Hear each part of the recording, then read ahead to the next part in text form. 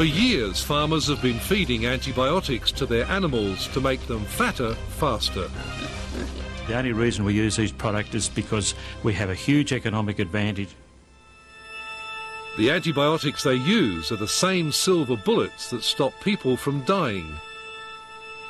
Now there's a link between those drugs and the creation of an unstoppable superbug in the food that we eat. They come across the food chain and they can make people sick. Yet there's no formal testing for it. She'll be right, mate, is the Australian attitude. Don't come to be right, it's getting worse. Tonight on Four Corners, the battle over antibiotics fed to farm animals. Should they be used? And are we prepared to pay a potentially deadly price, gambling with the last silver bullets?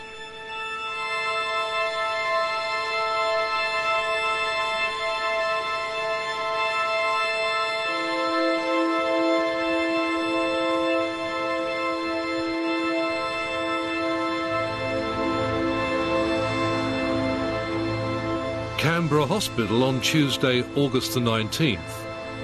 Inside, a middle-aged woman is recovering from kidney failure.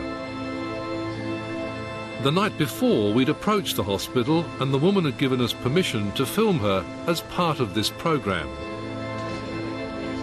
What made her different from the hundreds of other patients, the strongest antibiotics weren't working. She'd become infected with a deadly strain of bacteria, so contagious she was consigned to a special isolation ward to prevent its spread to other patients. Shortly before we were to start filming her, the woman died. Four Corners arrived just as her family learnt of the unexpected death and came to pay their last respects. How do you personally feel at the moment? Well, I think, you know, like uh, all these situations, this is obviously very sad. I mean, this is a case where somebody uh, has got multiple problems and a contributing factor has been a fact that there's a bacteria we couldn't treat adequately.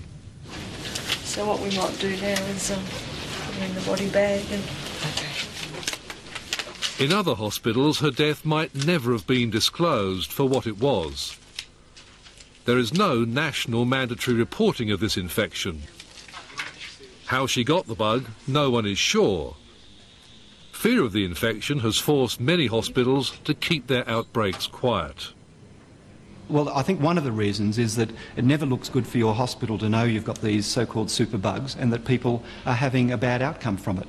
Now, do you, but do you think people have the right to know that? Well, I think it is a very good idea if people know that, providing we do it in a way that doesn't unfairly target one hospital. The paradox of this is that the hospitals that do this better in the short term and report the data look worse than the hospitals that are often slacker and don't collect the data at all because they don't know. Ignorance is bliss.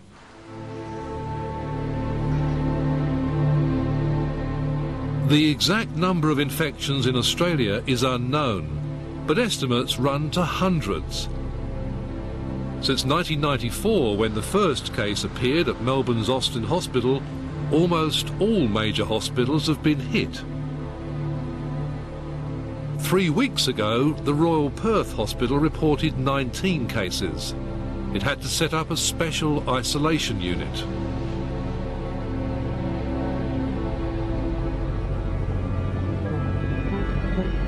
This is what it looks like. Vancomycin resistant enterococci, VRE for short, is so contagious and hard to treat, hospitals are forced to take extraordinary precautions. The woman who died at Canberra Hospital was allowed only one nurse to take care of her, to limit the risk of contamination. Even after her death, the threat of infection to others continued to pose a problem. Every part of her room had to be scrubbed, including the walls.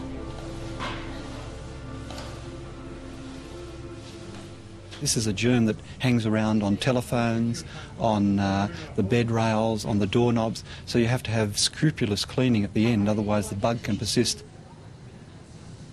Hospitals use vancomycin as the antibiotic silver bullet to fight infections when all else fails. As a wonder drug, it was overprescribed in large amounts, both by hospitals and general practitioners, and this is where the problems started. Because of its overuse, the bacteria built up an immunity to it, creating the superbug VRE.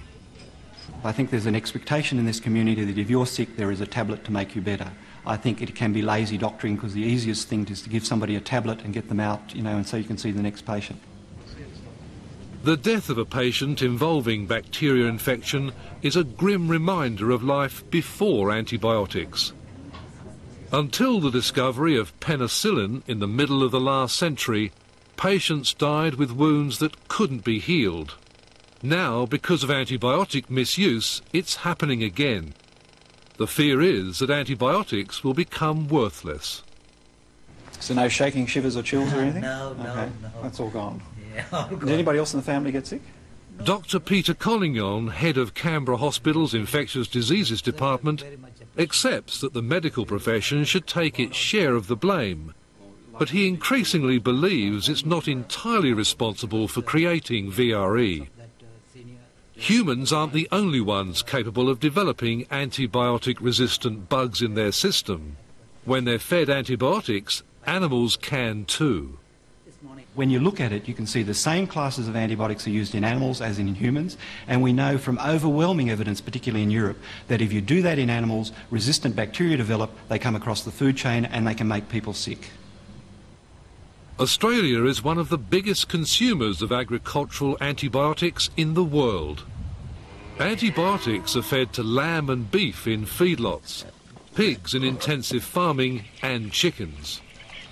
The antibiotics help growth and also keep down disease.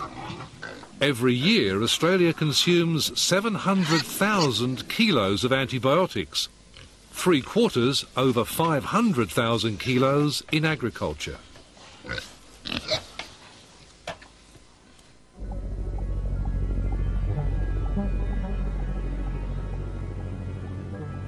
A link between VRE in humans and VRE in animals has been proved in European studies, but never in Australia.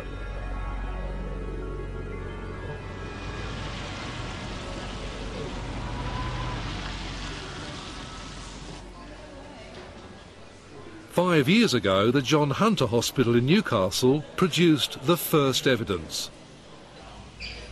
In the men's medical ward, one of the John Hunter's patients appeared to have developed a resistance to vancomycin.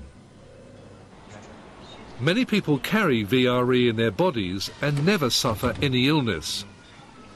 But when they're sick and given strong antibiotics like vancomycin, which kills all other bacteria, VRE flourishes and takes over.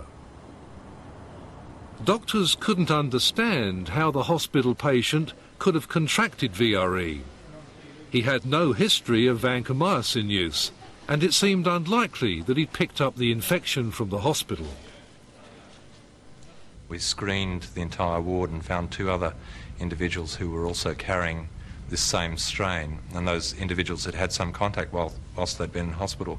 So was an infection control issue for us, which uh, uh, really led us to implementing quite stringent uh, isolation. As the doctors struggled for answers, they began looking in unusual places for the source of the mystery infection.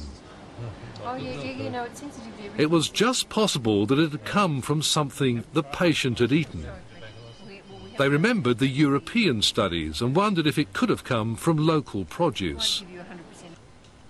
Instead of calling in further medical opinion, they called in the local Department of Agriculture.